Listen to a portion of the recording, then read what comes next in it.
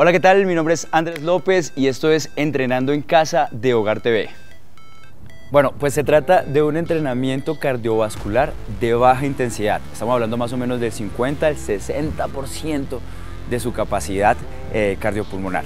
Bien, y pues la idea es que usted lo haga de manera prolongada. Aquí a diferencia de muchas rutinas de entrenamiento, eh, usted debería estar haciendo este entrenamiento de 30, 45 o hasta 60 minutos, pero continuo, como cuando usted sale a trotar, por ejemplo. La idea de salir a trotar es que usted siga un camino eh, sin pausa. Entonces, en este caso, hay unos ejercicios que usted puede hacer, ya sea en la casa, nuevamente en el parque o en la calle. Vamos a hablar de ellos. Primer ejercicio, caminar en el lugar. Vuelvo les digo, la idea es que sea de manera prolongada, mínimo 30 segundos y que no supere, no supere 50 o 60% de su capacidad. ¿Cómo lo podemos hacer? Si está en casa, si es una persona que tiene lesiones eh, de rodilla, de cadera, eh, una hernia, por ejemplo, o simplemente no está acostumbrado a hacer ejercicio, empezamos. Esto es caminar. A medida que usted vaya realizando esta actividad, como pasa igualmente cuando sale a trotar, uno empieza con un kilómetro, dos kilómetros, cinco kilómetros, diez kilómetros, después termina en una maratón, cada vez lo hizo más rápido. Aquí estamos empezando. Aquí estamos hasta ahora dándole una un aviso al cuerpo de que es hora de trabajar, es hora de entrenar y esta es la mejor manera. Esto va a subir la frecuencia cardíaca, esto va a subir precisamente sus pulsaciones y esto es lo que los eh, estudios denominan cardiolis, fácil para que usted realice en su casa. 30, 60 minutos está usted trabajando su cuerpo, le aseguro que a un buen ritmo y de manera continua va a ver usted o va a notar cómo su cuerpo mejoró a manera de resistencia y cómo su cuerpo también redujo de alguna manera el porcentaje de grasa de su cuerpo. Entonces, primer ejercicio, caminar en el puesto. No tiene que salir de su casa, lo puede hacer de una manera pausada, tranquila, pero prolongada.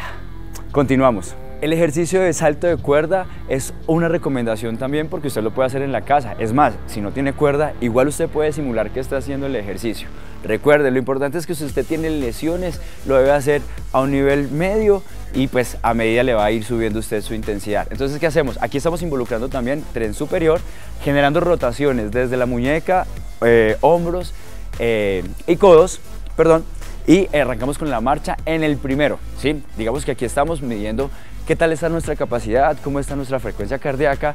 Les recuerdo que estas son rutinas que usted debe hacer entre 30 y 60 minutos eh, ojalá fuera el día, ¿sí? ojalá fuera seguido, es, no le va a quitar mucho tiempo. Si usted ve que su capacidad le da para que haga un poquito más de intensidad o lo hace en la misma marcha, solo en punta de pie, ojo, me voy a hacer de lado, o allí ya lo puede estar haciendo a dos piernas, ¿listo?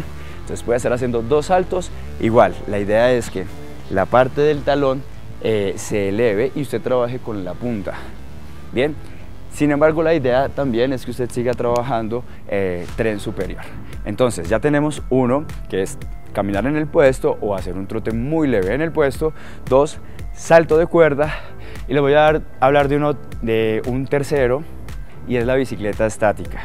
Si usted tiene una bicicleta estática, puede reducir eh, a un buen nivel la, resistencia que tiene la bicicleta y generar un pedaleo leve pero constante. Entonces estamos hablando de que ese pedaleo sea más o menos a dos segundos de tiempo y que usted mantenga eso de manera continua. Ese es un entrenamiento que puede hacer con una bicicleta estática. Qué bueno que no tengo la bicicleta en la casa. Usted sabe que tenemos un montón de parques donde usted también puede realizar este tipo de pedaleo en bicicleta o, o en elíptica, donde involucra también tren superior. Lo importante es que usted tenga presente que para que cumpla como cardio de baja intensidad, la frecuencia cardíaca debe estar entre el 50 y el 60%. No debería pasar. O sea, de ahí no se debería pasar para que cumpla, digamos, con su, con su función. Y por otro lado, pues que, eh, digamos, que el tiempo sea para que le sirva al cuerpo, para que funcione, mínimo, mínimo de 30, de 30 minutos. 30 minutos continuos y a medida precisamente que usted va a ir evolucionando, va a poder ir sacando mucho más tiempo de ese, de ese ejercicio. Entonces, utilícelo ensáyelo, hágalo una, dos, máximo tres veces a la semana, mira a ver su cuerpo cómo se comporta, cada vez vaya exigiendo un poquito más al cuerpo y nos cuenta qué tal le parece la rutina. Usted puede dejar los comentarios. Mi nombre es Andrés López, en Instagram estoy como arroba a López Fit y si quieres saber más de Cardiolis, pues sígame y hablamos un poquito más del tema. Esto es Hogar TV, entrenando en casa, fácil para usted. Nos vemos en la próxima.